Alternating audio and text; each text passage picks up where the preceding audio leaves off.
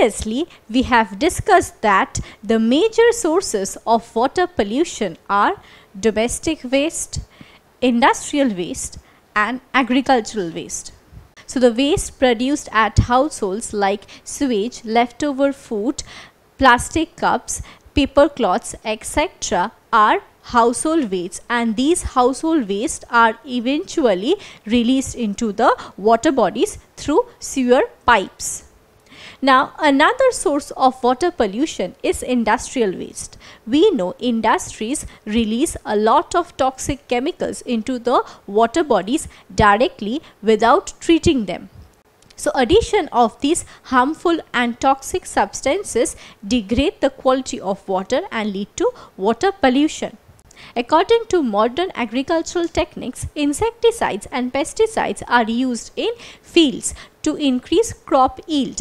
These insecticides, pesticides and chemical fertilizers contain different toxic chemicals that are initially released into the soil and during rainfall these chemicals are washed away into the water bodies thereby causing water pollution. So these are the major sources of water pollution and these sources are mostly caused by human activities.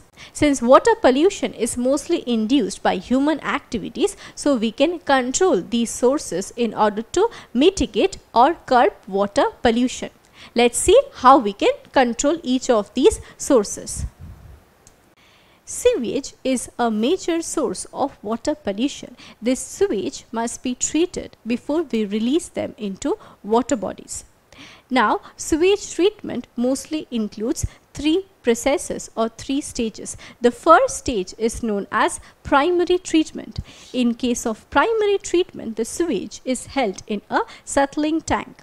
In the settling tank, we can see that the heavier materials settle at the bottom of the tank while the lighter liquid floats above. The heavier materials that sink down is known as sludge, while the lighter liquid that floats at the top is moved on to the next stage that is in the secondary stage of sewage treatment. The primary sewage treatment is followed by the secondary phase of sewage treatment. The main aim of secondary sewage treatment is to reduce the biological content of the wastewater and for this purpose the wastewater is held in an aeration tank and here activated sludge rich in microorganisms is released in the tank. These microorganisms act on the wastewater and they discard or decompose the organic matter present in this wastewater and this is how wastewater is treated in case of secondary phase. After this phase we will move on to the next phase. The next and the final stage of sewage treatment is known as tertiary sewage treatment. In tertiary treatment, the water is held in a disinfection tank which is rich in chlorine. When the chlorine acts on the water, it purifies the water so that it is no more harmful for the environment.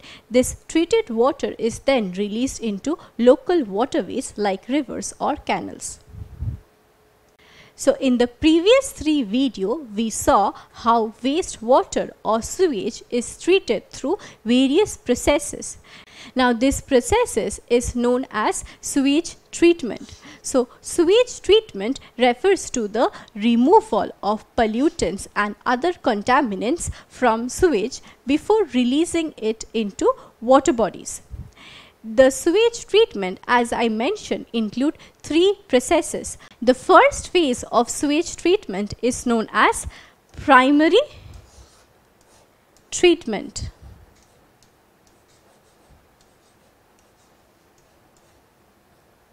In case of primary treatment, there is a physical separation of waste water.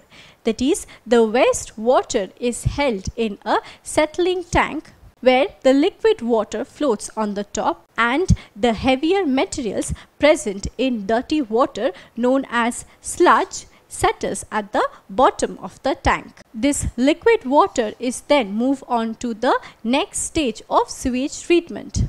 The second stage of sewage treatment is known as secondary treatment. The secondary stage of sewage treatment is a biological process where the microorganisms act on the organic matter present in wastewater and decompose them. The third stage of sewage treatment is known as the tertiary treatment.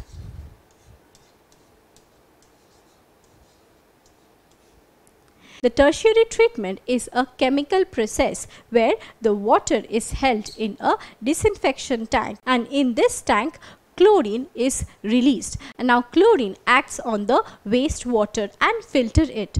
And finally after these three stages we get the treated water which is safe for the environment. That is we can now release this treated water safely into the water bodies like rivers canals etc and this treated water as I mentioned is safe for the environment that is it will not lead to water pollution. So this is how sewage is treated through rigorous processes so that it can be safely released into the environment. Now before we proceed with our lesson, let us try to answer this question. Which of the following comprises of the tertiary stage of sewage treatment? Is it settling tank, introduction of activated sludge, addition of chlorine or discharge of treated water into rivers? The correct answer is addition of chlorine. This addition of chlorine is done after the first two stages that is primary and secondary treatment of sewage. So addition of chlorine is the part of tertiary stage of sewage treatment. So the correct answer is addition of chlorine. Let us now look into other ways in which we can control water pollution. We know that water pollution can also be caused due to agricultural activities like use of chemical fertilizers, insecticides and pesticides. So, these chemical fertilizers must be used at the minimum. Instead, we can use natural fertilizers like natural manure and nitrogen fixing plants. Now natural manure is absolutely biodegradable in nature and thus it is environment friendly that is it does not lead to water pollution. Now you can prepare natural manure at home from the waste generated at households like leftover food, vegetable peels, etc. So using these household waste you can actually prepare natural manure at home. The second measure in which we can control agricultural waste is by planting nitrogen fixing plants. Now we know that at the root nodules of these nitrogen fixing plants, different microorganisms, especially the bacteria are present. Now this bacteria is indeed very helpful as it converts the atmospheric nitrogen into compounds of nitrates that can be used by plants. So when these bacteria add nitrogen into the soil, it makes the soil fertile. This here we can see how naturally we can increase the fertility of the soil. So if we use natural manure and nitrogen fixing plants instead of chemical fertilizers and pesticides, then we can naturally increase the fertility of the soil and by following these measures we can also control water pollution. Apart from household waste and agricultural waste, the discharges from industries is also another major source of water pollution. Now look at this picture. This picture shows the top view of an industrial wastewater treatment plant. Now in this treatment plant, the wastewater of industries are treated before they are released into the water bodies. Thus this treatment plant removes the toxic chemicals present in the wastewater of industries and after the water is treated here it is then released into river and other water bodies. Thus by treating industrial wastewater in treatment plants we would be able to control water pollution. So in today's video, we discussed about various ways in which we can control water pollution. Initially, we read that sewage must be treated in a plant before they are released into water bodies like rivers, canals, streams, etc.